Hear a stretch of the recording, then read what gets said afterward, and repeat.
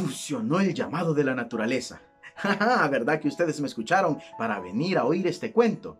Este cuento es muy especial, así como el llamado de la naturaleza que acaban de escuchar. Me lo enseñó una querida amiga, del cual trata la siguiente historia. Pero antes de ir con ella, quiero enseñarles a ustedes también el llamado de la naturaleza. Yo lo hago primero y ustedes lo hacen después. A la cuenta de uno, dos y tres. ¡Oh! Ahora prueben ustedes. ¡Qué pulmones los que tienen! Miren cuántos amigos más vinieron a escuchar este cuento, solo por escucharlos a ustedes. Este cuento se llama Tarzana, de María del Mar Quirós y María Ángeles García. Espero que lo disfruten y lo vamos a llamar a la cuenta de uno, dos y tres. ¡Que se venga ese cuento! ¡Ah! En lo más profundo de la jungla, cerca de una catarata, vivía Tarzán con su hija Tarzana. Un día Tarzán reunió a todos los animales y jefes y jefas de tribus, porque tenía que decirles algo muy importante. Tarzán les dijo, Ya es hora de que alguien me sustituya. Estoy haciéndome mayor y estoy perdiendo fuerzas. Me resbalo de las lianas y además ya no puedo gritar como antes. ¡Ah! ¿Ven? Los animales preguntaron. ¿Pero qué pasará ahora? ¿Quién se encargará de protegernos? La tradición manda que sea tu hijo el que ocupe un lugar, y tú solo tienes una hija. Tarzán quedó asombrado y les preguntó, ¿y qué hay de malo en ello? ¿Acaso Tarzana no puede hacer lo mismo que yo? Ella mejor que nadie conoce la selva, porque siempre me ha acompañado allá donde he ido. Y los animales asombrados le dijeron, Pero entiéndelo, es una niña, y las niñas... Ay, tú no entiendes. Discutir mucho, el Consejo de la Jungla decidió que sería mejor hacer un concurso, y quien superara todas las pruebas sería el nuevo Tarzán, además de poner su nombre en las cataratas de la jungla. Los animales dijeron que esto era lo más correcto. Por supuesto, Tarzana puede presentarse.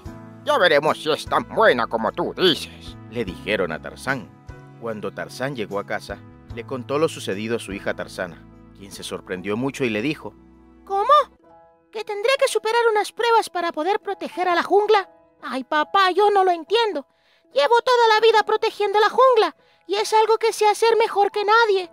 ¿Y por qué todo el mundo dice que porque soy una chica no puedo? Pues se van a enterar de quién es Tarzana. Mientras tanto, el Consejo de la Jungla se reunió para poder preparar las pruebas, pruebas que según ellos nunca podría superar Tarzán. llegó el primer día del concurso. La primera prueba consistía en conseguir el fruto más exótico del árbol más alto de la jungla. El rey de los monos pensaba que esa prueba solo la pasaría Mandrilo, el mono más ágil.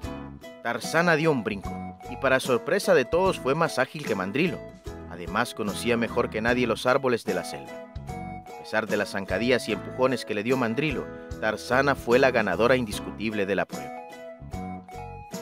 En la segunda prueba, tenían que cruzar nadando el lago Príncipe Ceniciento. El favorito de todos era el cocodrilo dientes largos. Esta prueba no la va a poder superar Tarzán. Eso pensaban la mayoría de los animales, e incluso algunos jefes y jefas de las tribus vecinas. Como el cocodrilo es un animal que vive en el agua, está acostumbrado a nadar. Y Tarzana los conocía muy bien, y era bastante inteligente. Así que usó dos hojas que se colocó en los pies, como las personas que hacen submarinismo, y así pudo nadar más rápido. A pesar de los intentos del cocodrilo dientes largos de morderla, Tarzana consiguió cruzar de primera, aún habiendo perdido una de sus hojas de los pies. El comentario general fue, es que fue cuestión de suerte. La tercera prueba era una de las pruebas más difíciles, porque los concursantes tenían que demostrar fuerza y rapidez. Tenían que utilizar el grito de la selva para llamar a todos los animales. Tarzana iba a competir ni más ni menos que contra el león. Así que el león se acercó y pegó un gran rugido. Todo mundo quedó impresionado. Así que Tarzana se acercó y pegó un grito con el que llamó a todos los animales de la selva.